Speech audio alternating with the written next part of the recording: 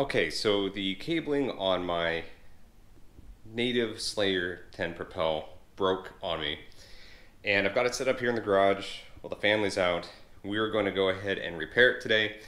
And it shouldn't be too difficult. Now, I, I did buy I did buy a replacement kit that would turn it into cord rather than the wire cable. Unfortunately, it's coming directly from Native. And I have no idea how long it's going to take for that to get here.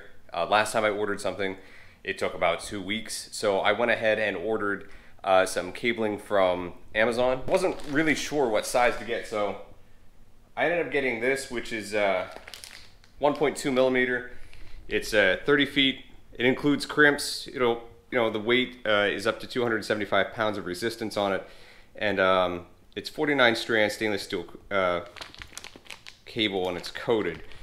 And it was about 15 bucks, I want to say, off of Amazon. I came here the next day. So we're to go ahead and put this in. I'm to keep the cord set up uh, in case I have to do repair out in the water for the upcoming trail season or next year when I'm competing. So let's go ahead and get this started. Let me show you what I've already done to it.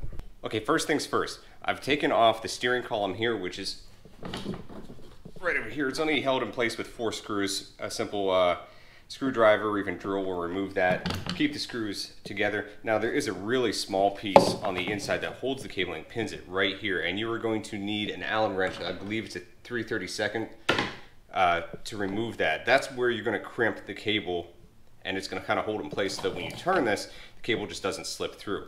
So the really small uh, Allen key piece is back inside. I put it in there so I wouldn't lose it, but you're gonna need an Allen key set to do that. Again, it's only held together by four screws, so just keep those together. Simple Phillips head screwdriver or even drill will take care of that. Now the cabling slides in on two small holes here, but we're gonna feed it through on the other side and then feed it back through. If you're doing this with wire, it's absolutely fine. If you're gonna do it with a cord, I believe it comes with a wire pull through that you're gonna need to make this happen. So in the back here, you can see I've already taken this out. Rudder's fallen off. This pops right out once you unscrew it here. And we have two cable locks here and here with two crimped ends, which we're gonna have to replicate. But this is held together again with that Allen key. So I'm gonna have to use that Allen key to open this up. And then we're gonna feed our cable through one end here, up through, and then back through, come out this end, and then we'll crimp it just like this because the, uh, the cabling kit comes with crimps. Okay, so I've cut the wire and I pulled it through.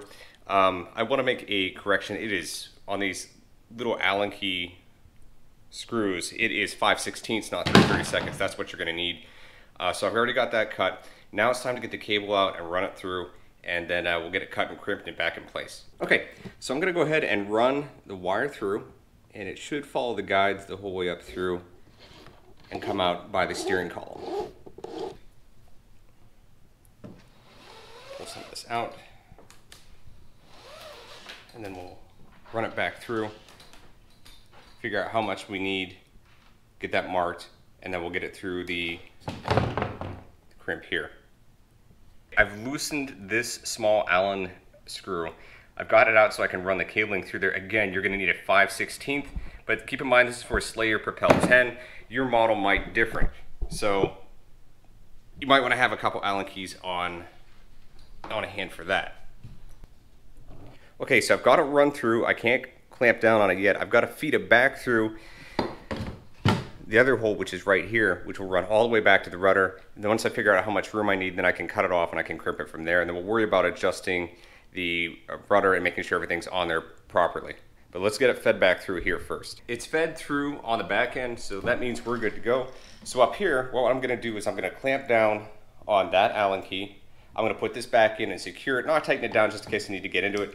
Make sure that this is facing forward and then go ahead and then work on getting the stuff set up on the back end of the kayak here by the rudder. So again, I'm just going to take my Allen key and I'm going to tighten this down so that it holds the cable in place. I'm to give it a good pinch. I don't want it to go anywhere. I don't want it to slip. Don't want to overdo it, but don't want to underdo it either. So it should be okay there. I'm going to go ahead and feed this back through so I know it's sticking out in that end. Should have plenty of room.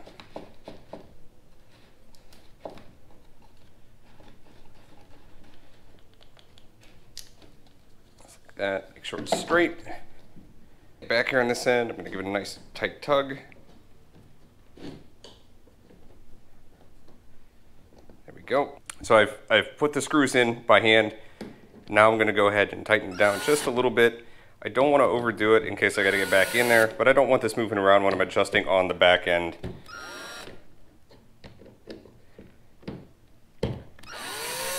Still see this is kind of loose, but I wanna make sure it's in a, in a, in a straightforward position when I go to line the rudder up. Okay, got my rudder here. I'm just gonna slide it up underneath the kayak and get it in the, line up to the hole there. Let it sit back down. Make sure that it's nice and flush, that it's straight, and you can see popping up there. Now I'm gonna worry about getting the, the cabling and stuff in on the back portion of this. So these were loosened from before. Again, you need that 5 16 Allen key. I'm gonna go ahead and slide the cable up inside these.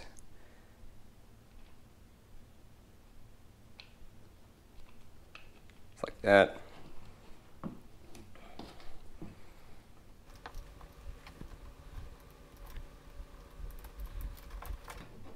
Okay. So all I'm going to do now is I'm going to go ahead and tighten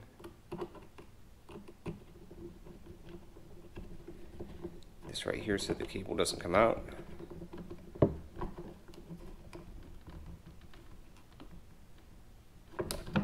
Same thing on the other side.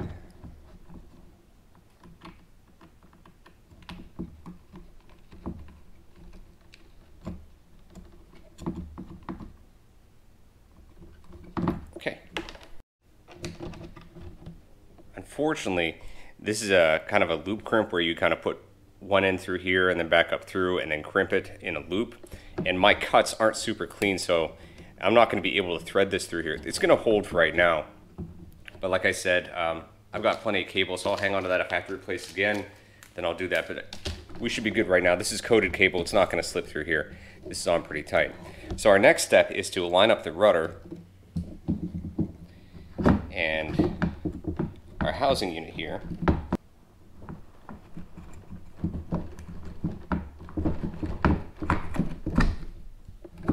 There we go.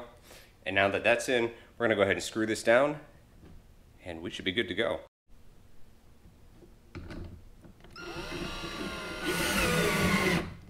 So if we move this, it should moved back here. As a side note, you don't want to tighten down too much on this or it will put a lot of pressure on the cable and make it harder to turn. But everything works right now and uh, I think we're ready for a test drive. All right, test run. We're doing good. I actually had the kayak out um, a little bit earlier this week and uh, to test it and just forgot to film. But so far we're doing pretty good. Rudder's holding up. There's a little bit of play which is expected. I mean, I installed it myself, so. Um, but it feels nice and tight, just like kind of when I first bought it. Cabling's hold up. I put a lot of stress on the handle to try to get it to, to break and stuff. But, you know, besides the little bit of wiggle room which I, I left in it, we're doing pretty good. And I've got the extra cabling in the front hull just in case I have to replace it on the fly. I've got the replacement cabling, uh, or the cord rather, coming in from Native. It's going to be here sometime next week. Got the tracking number for that. So I'll also have that so that I can replace that once this one breaks, and then I'll have that, and then uh, the extra cabling as backup for when I'm out on the road. But so far, so good it's holding, and uh, so not too bad a job on my part. So we're done. Uh, it took me a couple days to film everything, got a lot of stuff going on, but it took me about 20 minutes total to replace the cabling kit, which is absolutely fine. Um, anybody can do it. I, I did it, it was pretty easy. Now, it's not the greatest job, but it will work for right now. And when I get the chance, when it breaks, I'm going to go ahead and replace it with this, which is the native cabling kit, uh, conversion kit over to cord. Um, if you're looking for any of these things, I'll put the links in the description. But what I used to replace it initially was this uh, 49 strand stainless steel cord from uh, Catch All Tackle. It's 275 pound rated, it's 1.2 millimeter, it's 30 foot, and it includes 10 pieces of 1.6 copper crimps. Now the crimps, had I known that the the cutter I was going to use wouldn't actually cut through the cabling really clean, then I probably would have pre-threaded one of the crimps on the end that I needed to cut. So keep that in mind. Otherwise, buy a decent cable cutter. Uh, I had a wire cutter and I had to kind of chomp at it. Kind of embarrassing. So I didn't really show that in the video because it wasn't the, the, best cut. So what I'll end up doing now is uh, make sure they have a screwdriver, uh, a cable cutter, and an Allen key set on my kayak at all times. So if I have to replace something, I can. And again, the cable took about 20 minutes. I could probably do it in about 10 now if I'm not fiddling with the camera and I'm trying if I'm in a hurry. So I could probably easily do that in about 10 minutes. Now, this conversion kit, this came in about 10 business days, which is what I was, which what I was afraid of. And, but it does come with a different back unit because the, the cord has to be tied off in a certain way. It comes with a cord and it comes with a stainless steel cable that you'll need, or, or, a copper cable, it doesn't really matter what it is. It's, it's wire cable that you can pull this cord through uh, the threading on the kayak with. Um, but this, I think, was $50 because it comes with the unit. But if you're in a pinch, this was, I think, 14 and it came the next day through Amazon. So that's available. I'll put the links in the description if you're interested in that. And when I replace it, again, it, will be with a cord, and then I'll keep this in the kayak uh, as a backup in case I need to replace something on the water. So that's it. Pretty simple, easily done. It wasn't really overly complicated. Should take you about 10 to 15 minutes if you have all the right tools, and you'll be back out on the water like I was. So I know it's a really basic video, but hopefully it helps you guys out, kind of guides you, kind of gets you out of the mindset that it might be scary to do. You don't need to take this to a shop to have somebody else do it. You can do it right there at home. With that being said, I got to get ready for the KBF event that is coming up in two days. Uh, that is still on thanks to Eta finally deciding what she wanted to do and moving off coast. So I got to go get set for that, and uh, I'll catch you guys out there.